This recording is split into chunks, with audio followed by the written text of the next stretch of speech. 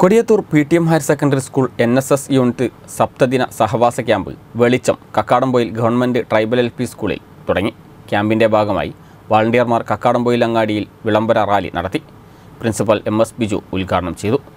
തേൻകനി എന്ന പേരിൽ ഫലവൃക്ഷ തൈകൾ നടൽ ഹരിത സംസ്കൃതി കില്ലാടി പാവനിർമ്മാണം ലഹരിവിരുദ്ധ ബോധവൽക്കരണം പ്രസംഗ പരിശീലനം നേതൃത്വ പരിശീലനം എന്നിവ ക്യാമ്പിന്റെ ഭാഗമായി നടക്കും. സ്വാഗത സംഘം chairman Benny Thomas programme officer C P Saheer Irshad Khan O.